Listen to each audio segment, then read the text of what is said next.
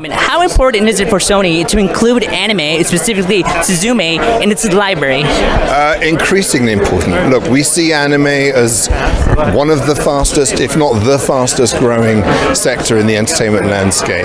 Um, you know, we invested a lot of money in, in acquiring Crunchyroll, putting it together with Funimation, and really looking to build a service and a community that can really super serve and engage with anime fans. Um, and we want to power that with the best content, with the best movies, to bring the best creators, and to really allow their, their stories and their characters to reach the widest audience possible. Um, and then to do that in a way that's going to last for years and years and years and decades and decades, because we don't see this as a fad that's going away.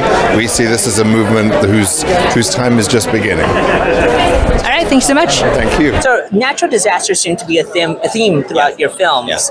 Uh, in your film, specifically this one, uh, Suzume, uh, why is it important for audience members to feel the impact of the 2011 uh, Tohoku uh, earthquake?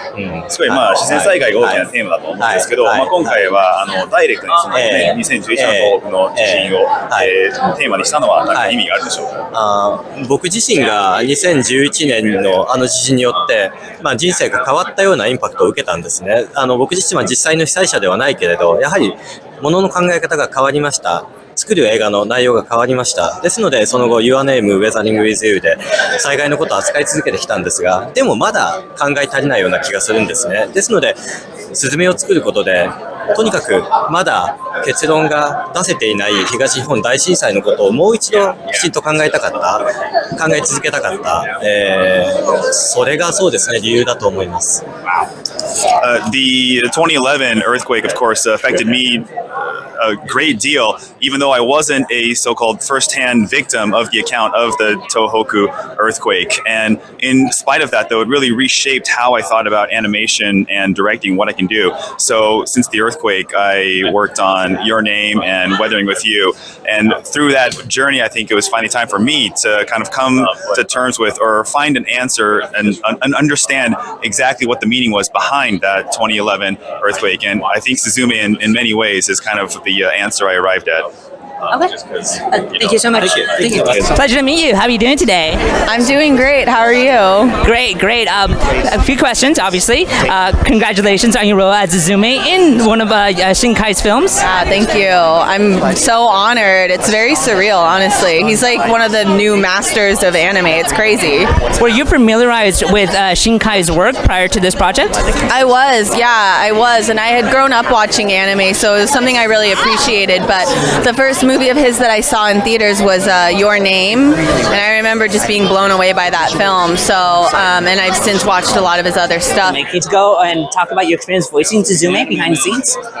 Well, I had never done a feature length anime film like this before, so I really didn't know what it entailed. And I was really lucky that our director, Bill Millsap, he's very experienced and he really guided me in getting the performance that we needed because it was a lot of like layering on the emotions to get all of the feeling just out through your voice. I act on camera normally, so I'm used to being able to like use my whole body and my face and my eyes and all that. Um, so that was different. And then on top of it, you have to match the movement of the animation, the mouth movement to the words that you're saying, and that's a technical element that you really have to get right. Otherwise, people will get kind of like pulled out of it. So yeah, it was, Like we said before, uh, Josh had the most easiest mouth taps in the world, considering that he becomes a chair. Josh is lucky that he played a chair. Yeah. All right, thank you so much. All right, thank you. Hi, how are you? Hi, my name is Crystal. Crystal, nice to Nice meet you. Good question. Uh, this is I was overhearing that this is you haven't done much anime, correct? Correct. Can you can you elaborate on your experience behind the scenes of working on on Souta?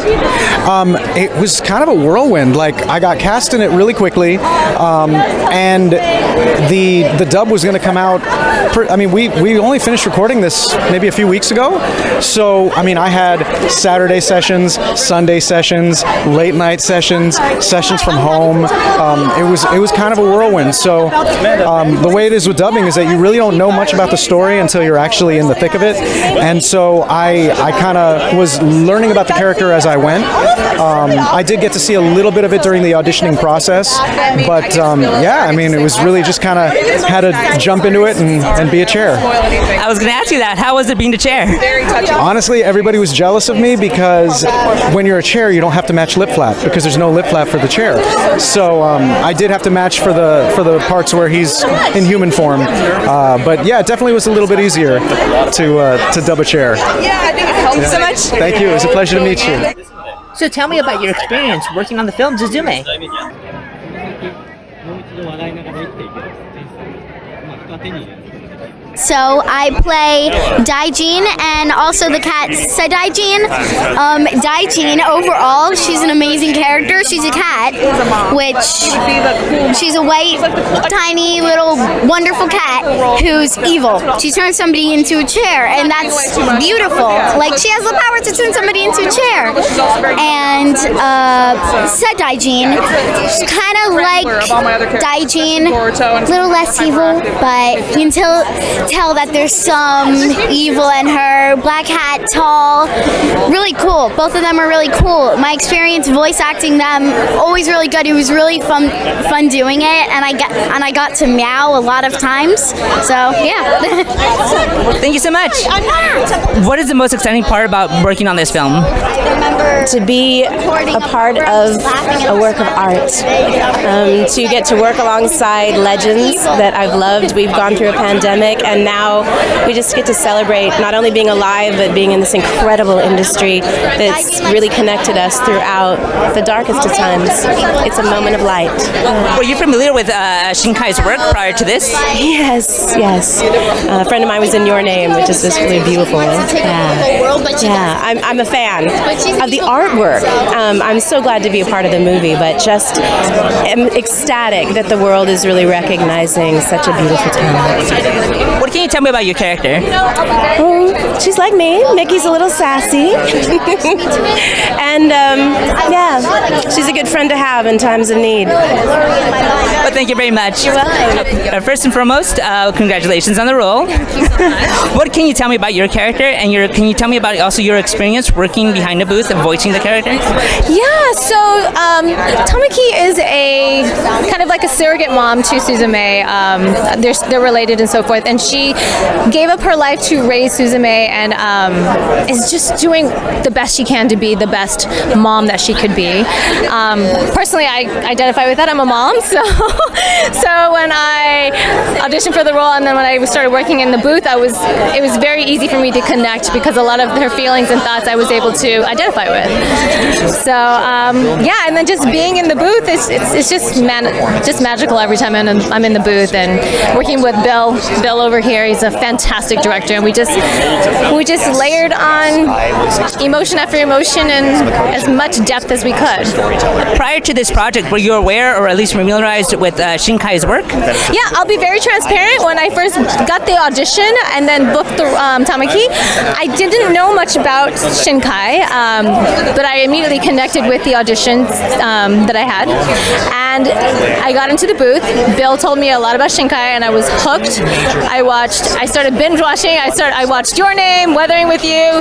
I cried. I laughed, and I was like, I'm. I am just so incredibly grateful to be a part of Suzume. Thank you very much. Thank you so much. Thank you so much. So, what have you been up to these days? What haven't I been up to these days? Honestly? Obviously, you've been in Suzume. oh my gosh, I'm so excited for Suzume. I mean, oh, I can't believe I'm, this, I've been, I'm in this movie. I knew this. I remember seeing the announcement for this last year and just telling everyone I know about how badly I want to be in this movie. yeah, color me. I mean, I was shocked when I saw your name in, on the cast, and I was like, "Whoa, Rosling!" I was shocked when I saw my name in the cast. Oh my gosh. so tell me more, more about your experience working on, on the film. Oh, my experience? I mean, if I'm being honest, it was just like a three hour session. I remember going in there being so nervous that I wasn't gonna do well because I just I wanted to do my I want to do my best in every single movie I do. But it was just since it's dubbing and it's my first dubbing for anime and I just I went in there at first half an hour, I was so nervous. I sort of stumbled a little bit, but then the director Bill, he's so kind, and so forgiving, and after a while, like I really got into it. And by the end of those three hours, I'm like, wow, I can't believe it's over, and I can't believe I'm just those three hours and I'm in this movie. It's crazy. And boom, just like that, you're in a Shinkai film. Just like that, yeah. so tell me more about your character, uh, Chika. Yeah, Chika, she is a really gutsy, really confident person who's unapologetically herself. And I think when audiences watch her, she might be like, oh, uh, wow, who is this girl? But, um, well, when Suzume meets Chika, she's definitely, she definitely is all scared of her, if we're being a little bit honest, but I think after a while, um, as the audience gets to know Chika, um, they realize, wow, she's she's really more than what meets the eye.